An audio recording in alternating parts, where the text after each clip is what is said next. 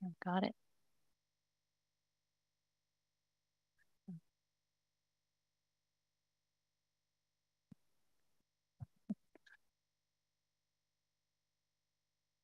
All right. We're ready to go. Okay. Good morning, everyone. I'm sorry, my, my computer's not acting very kindly toward me today. Uh, but anyway, it's, uh, nine oh four, I believe. And I would like to call to order the meeting of the Government Affairs and Public Information Committee on, uh, this day, Friday, October 28, two thousand twenty-two. Before we begin, please note this meeting is live streamed on YouTube and recorded. Members of the public are encouraged to watch and listen to the meeting online or by dialing into 415-569-6446 with the audio of this meeting. If you would like to provide public comment at today's meeting, and if you would, and if you have not done so already, please call uh, 415-569-6446 and let the facilitator know uh, what items you would like to speak on today. Madam Secretary, please begin by calling the roll. Thank you. Good morning again, everyone. Uh, Director Garbarino, Here. Director Giudice is absent. Director Hernandez is absent. Director Hill, Present. Director Rodoni, Present. Director Stephanie is absent. Vice Chair Snyder, Here. Chair Cochran, Here.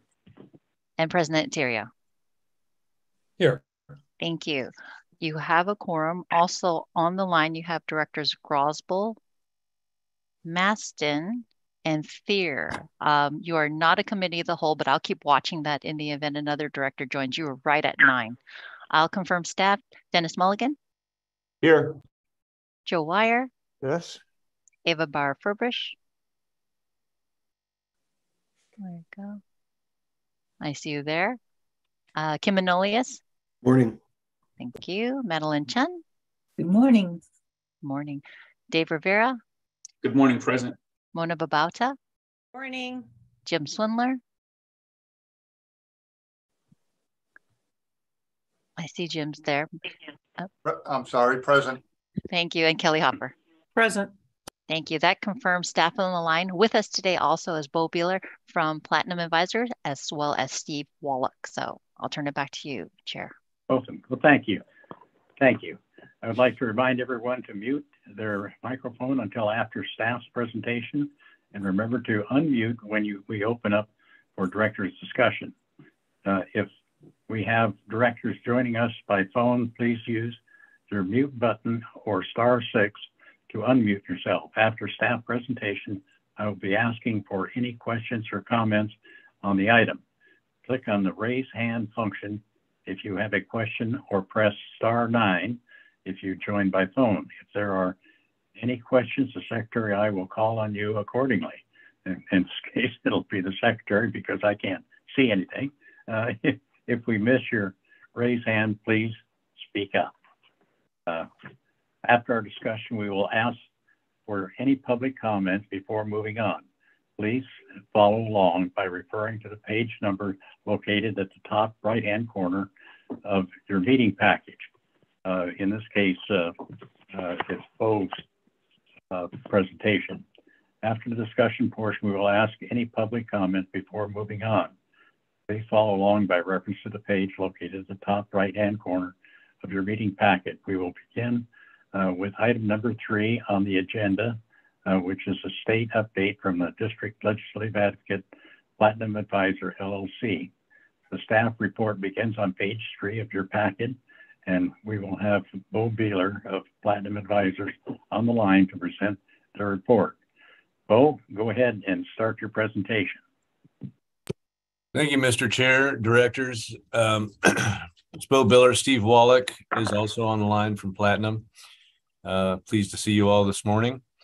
I figured I'd start with a, a bit of a prologue, uh, given it's election season. Uh, you can't really miss it. Although it turns out, since I'm a high propensity voter, along with my wife, we've had a very limited amount of mail, given that we're not in a targeted district. But for those around the state that are in targeted spots, I'm sure your mailboxes are filling up, just like the old days when we didn't have Twitter and social media and everything else to get the vote out. Always exciting times. Uh, but I think what's interesting, uh, and I'm going to just dig into a little bit of the elections before Steve into the meat of the. Uh, sorry, Jerry. Before Steve digs into the meat of, of the policy issues going on in Sacramento, I think it's it's critical to the district in the delegation. You know, you've got some, we've got 30 up to 33, depending on how you want to count it, new members coming in to the legislature in, in the assembly and the Senate. Uh, you've got that race there just to the north end of the bridge to replace Marc Levine. Uh, it looks to me as I view that one, you have a, a Democrat on Democrat situation. You've got endorsements of heavy hitters on both sides, pretty well financed on both sides. I don't really have any forecast there, uh, nor would I want to make one. But, uh, but suffice it to say, you'll have a new member with, um, you know, upwards of 12 years to serve within the delegation. And uh, the reason I mention that is that uh, with 33 new members, uh, we've got a lot of people to talk to, to indoctrinate into the ways of the bridge and the things that are important to the district. So there's going to be a, a lot of work ahead, not just with the delegation, but around the state to remind them uh, what we're all about. And I think that's uh, that's important. I could go deeper into more more of the elections, but I'll save that for a little bit after uh, Steve gets done with our policy report. Uh, one other thing I did want to mention, though, you know, Phil Ting has been a uh, a friend, or let's just say an open door for the bridge over the years, but he's going to term out in 24. And then you look at uh, uh, Dodd has been a good friend in the Senate, and he's going to be terming out soon. So we're going to start losing uh, some of the folks from the delegation that we've had time. McGuire, who's always been available for us, signed letters, really uh, a bit of friend, I think. So we're going to see some changes, and and it's uh, times are changing. But I can go deeper into all that stuff. I will just say quickly before I transition over to Steve that on our uh, we went on the caucus delegation trip with some legislators over to Ireland. I heard that at the beginning of the of the talk here. So if you need to know uh, Micheál Smith, he's uh, now been assigned to California. He's the general counsel of Ireland and has become a, a friend of our office. So uh, I have his card here if you need to get a hold of him. Mm-hmm. Steve, as they say on the on the Conan podcast, take it away. Well, good morning, everybody. Um, I'll, I'll kind of do a brief overview of everything, and then we can maybe ask, yeah, if anybody has any questions, we'll go into that at that time. Yeah, as both mentioned, you know, with the elections, we're going to have at least 33 members, new members coming in in December. The legislature is supposed to return first part of December for their organizational sessions. You know, it's going to be a little more hectic than normal. Uh, the governor has asked for a special session to be called in December as well to address the high gas prices. So with you know California's fuel prices being much higher than the rest of the country, which is normal to a certain extent, but they are exceedingly high. Um, you may have noticed if you get the governor's press releases, uh, it's been a regular uh, release, at least a couple a week, as the petroleum industry reports its earnings. Uh, he's putting out press releases showing how much how much higher their profits have been this past quarter than in previous years. Some of them as much as I think like fifteen hundred percent more. As trying to make his case that something needs to be done to rein in the prices in, in California. Whether this gets a pass uh, approved or not is to me still is uncertain. Um, a special session gives them a little you know more flexibility in the votes and how things are, are passed, but uh, we'll see how that goes and whether whether it even gets the votes it, it needs to, to get out, which will be a tax increase would require probably two thirds vote. Um, other other things, you know, uh, going into next year, you know, there's two two main issues. One is the fiscal outlook. You know, this year we had a record uh, budget surplus of almost 100 billion dollars. You know, next year's not going to be that. Um, we're looking right now at a, a, a small deficit. Um, not sure if it's going to grow or not as we move forward. Right now, it's about 4.7 billion. Um, since my write up, it's, it's gone up a little bit. Um, and that can easily be covered with uh, existing reserves.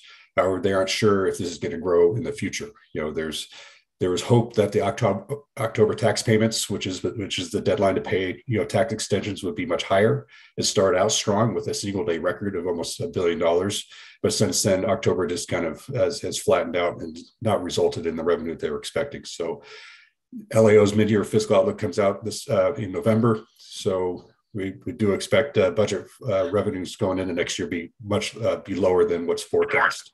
So we'll see, you know, what what that means for budgeting next year and, and, and some of the promises made in the budget this year. There, there's a lot of money that was in the budget that was promised to be appropriate in future years that may or may not materialize depending on the fiscal outlook. Um, you know, with that, you know, with the large surplus, we did try to work on trying to get money for the seismic phase three project for for, for the Golden Gate Bridge. We, we have not given up on that yet. Um, we did with the large surplus try to um, had all our delegation members sign a letter requesting you know funding to be in the budget. Uh, they were very supportive and active in that. You know, but you know, leadership in both the Senate and Assembly put a hard and fast rule saying no earmarks for transportation projects. They want transportation to be uh, bundled up into TRCIP and other uh, programmatic funding. So that didn't go forward. So we tried other approaches um, in trying to secure funding. You know, Assemblyman uh, Ting has been very helpful in that, as well as the governor's office in trying to work out a, a process going using the local bridge program. So the current rules for the bridge program kind of limit how much money we can get, but uh, we're hopefully we can change those rules going forward. So it's an ongoing process, and I hope we'll we'll be successful soon. Um, the other big thing coming up right right now that was a late addition is uh, the COVID uh, state of emergency declaration by the governor is going to sunset at the end of February. So he's given time for it's kind of like a, a, a winter spike uh, moving forward. Uh, but that also means these remote meetings for local agencies will come to an end as well. There was legislation that was enacted, AB 2449, which provides some kind of uh, some flexibility for remote meetings. It does require you know local governing bodies to have at least a quorum in a single location, and other members can can use uh, you know Zoom services to participate. It does have other restrictions in there, so it's going to be a cumbersome uh, uh, measure to use because it limits you're required to declare what your personal emergency is, and also limits the number of times you can use it for each board member. So we'll see how this works. It is a temporary, uh, but um, flexibility with AB 2449. I think it would sunset um, on January 1st, 2026. So, you know, I think people have gotten used to these remote readings. I think they've been working well, um, but there's there's a large vocal group out there that prefers everybody to be in person. So, I'm not going to go through all the bills on in the chart, but there are a few I kind of just wanted to point out that we worked on. Um, the main, main one was AB, where's it at? 25 2594 uh, by Simon Ting. This is regarding uh, toll collection process. You know, we worked closely with him. His office, kind of, I think, kind of relied on a lot of guidance from the district in crafting this bill, kind of putting in statute practices. I think uh, the district already does regarding you know electronic toll payments and, and notices uh, that are given, late you know late fees, what those puts caps on that, and a bunch bunch of other items. So uh, that bill was successful. 2622 Mullin, this is the extension of the sales tax exemption for zero emission buses. It will continue for a few more years. Um, it's not a it's not a full exemption, but it, it does help um, in any case for, for trying to meet uh, CARB's new uh, for the zero emission transition rules. Um, SB 917. I'll just we didn't have we didn't take a position on this one. We did watch it. It did fail again. This is the seamless Bay Area proposal.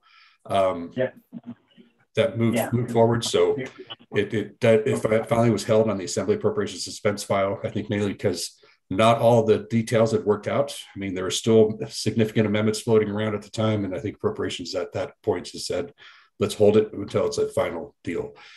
Unclear whether uh, Senator Becker is going to try this again next year, or if they're just going to try to proceed using existing authority that MTC has to require uh, more coordination than the Bay Area. And then Senator Wiener's SB 922. This is another one extends uh, date on uh, CEQA exemptions for transit and uh, active transportation type projects. So, uh, other one, oh, one I want to just kind of point out uh, SB 1121, basically a study bill, but these these bills require the Transportation Commission to do assessments on a transportation system. They've been done in the past what's uh, I think unique about this one, it includes transit. So not only does it transit service, but transit operations and what the funding needs are, are going to need for public transit moving forward, which I think is a, a key change in prior, uh, you know, needs assessments that have been done in the past. So we'll continue to work with that. CTC will work with transit operators, Caltrans, and others on working on that that report. So you know, I'll, I'll leave it at that and see if anybody has any questions.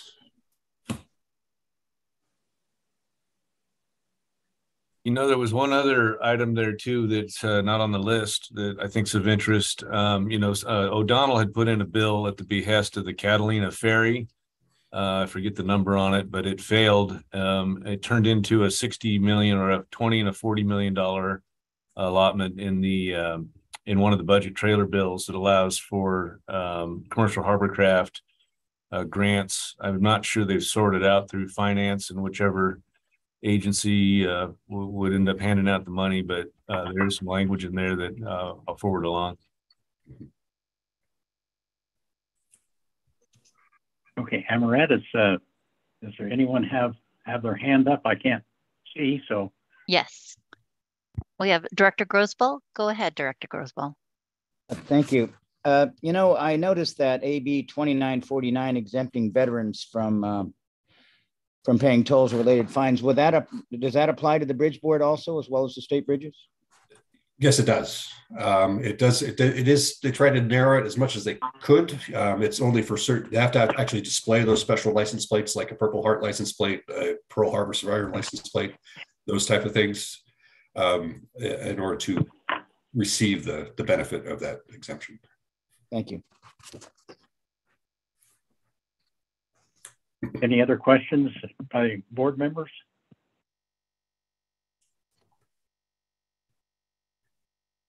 I don't see any hands up currently. And I don't see any hands waving uh, in front of the cameras. All right. Well, Bo and Steve, uh, thank you very much for your presentation. Oh, hang on Uh, a second. I, I just saw a wave. Director Hill?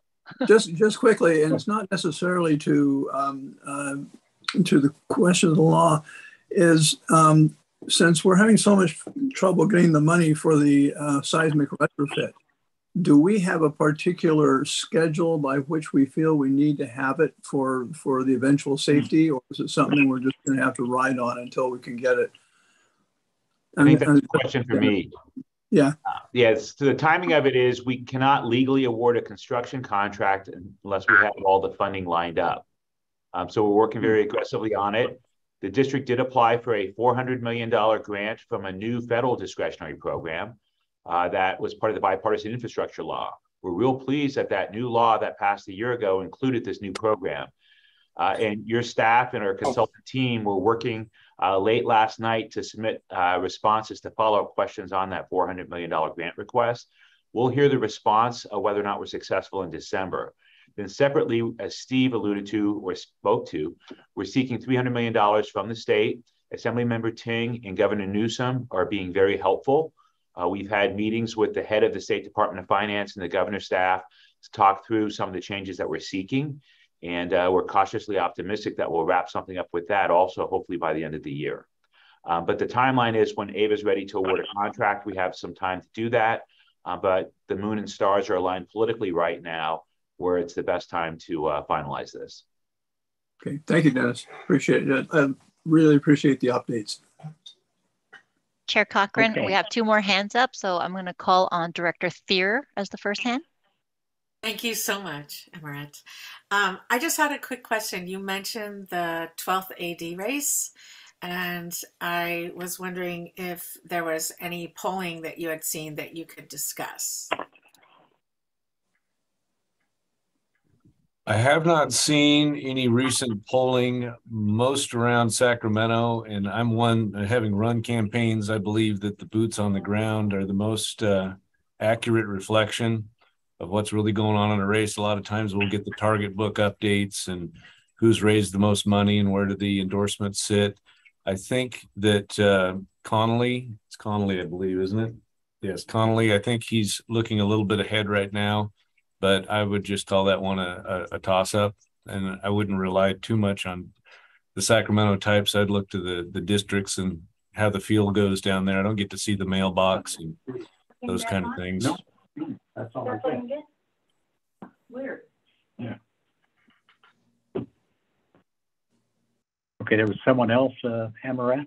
Yes, I believe Director Snyder had his hand up. Director Snyder?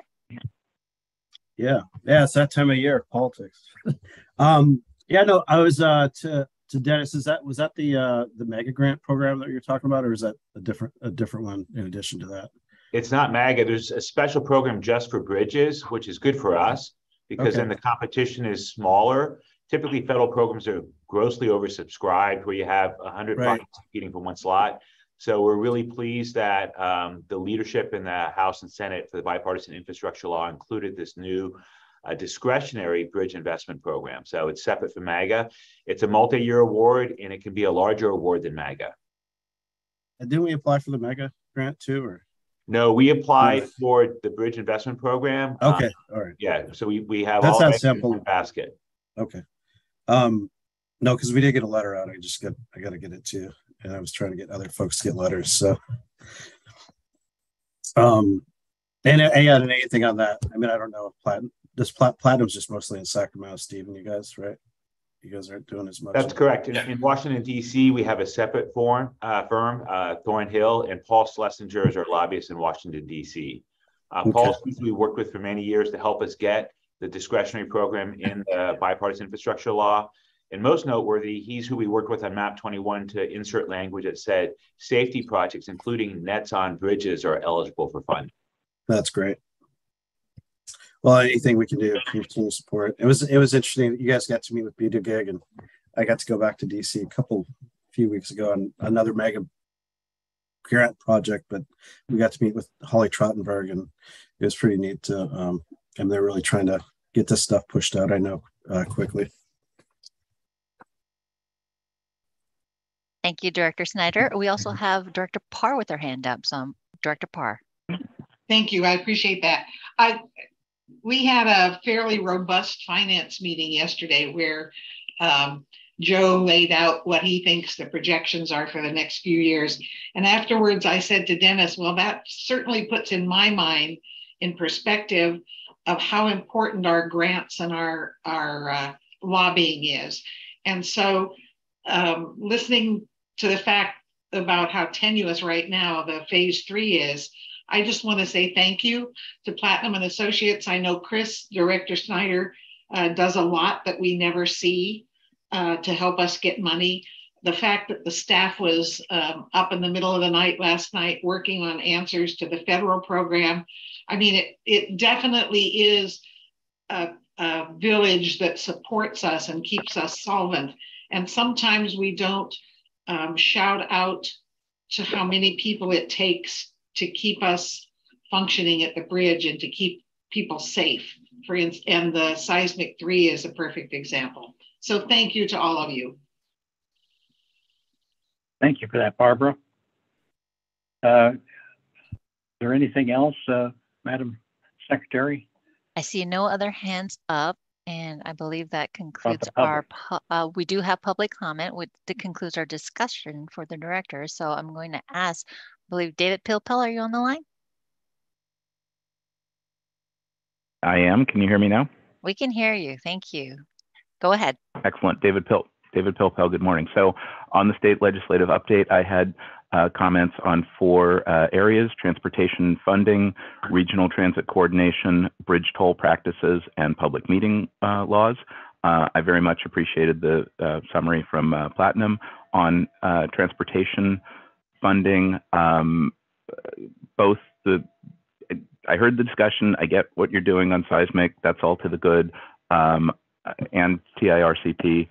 I don't want to forget uh, TDA as a funding source um, for uh, bus and, and ferry, and periodically there's discussion about TDA uh, reform, and I think the district should be uh, involved in that in as much as, well, it's, it's just a basic uh, funding source for uh, transit and being involved with the, the three counties and the uh, Marin issues and the Sonoma County split and the history on TDA, blah, blah, blah. Anyway, TDA reform is important. That might also uh, relate to regional uh, transit coordination. I suspect that some version of SB 917 is coming back. I think the efforts that the district and the other operators have uh, made, uh, not under a mandate, but simply because it's the right thing to do, um, should get uh, credit. And to the extent that that involves some funding to do uh, more work and continue backfilling operating dollars that are going to go away in a, a, year, year and a half.